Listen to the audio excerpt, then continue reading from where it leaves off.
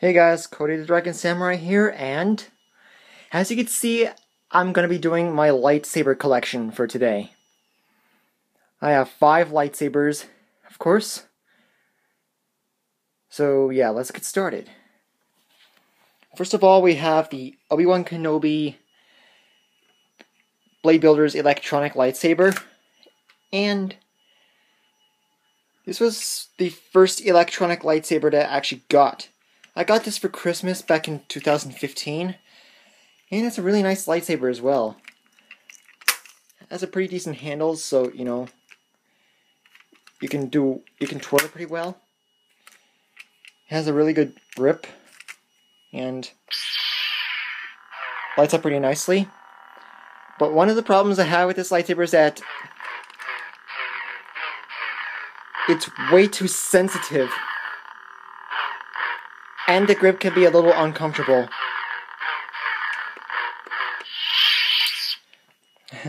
and since it's part of the Blade Builders line, it comes with this little clip, so you can attach it to other lightsabers and such.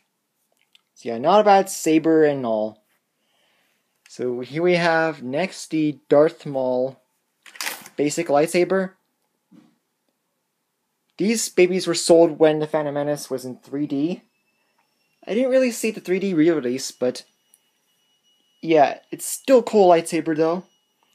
Although one of the problems for some is that although the, the handle is massive, the blades are puny compared to the size of the handle.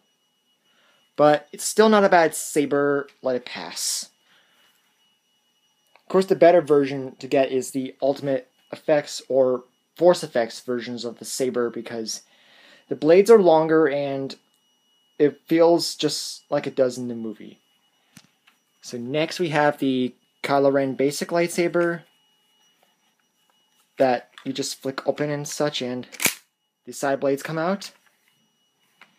So yeah, besides you know that being able to you know flick the blade out and have these crossguard pieces snap out. That's pretty much all there is to that. So still cool lightsaber though. And next we have the Kylo Ren Disney Effects lightsaber. And this, I got this at my local Disney store in Edmonton. And so yeah, it's still really nice lightsaber and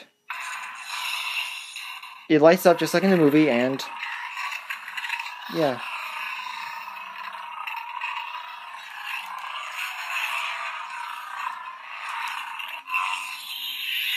So yeah, there's all there is to that.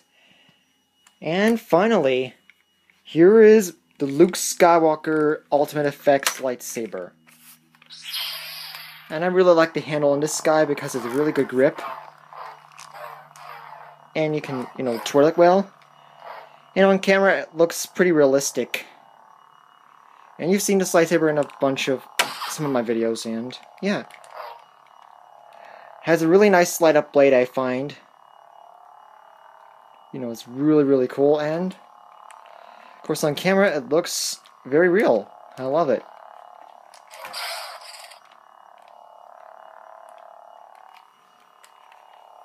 So, yeah.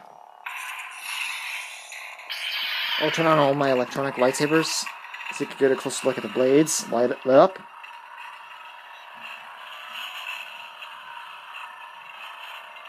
And so, yeah that's my lightsaber collection for right now. And so, thanks for watching. This is Cody the Dragon Samurai, signing off.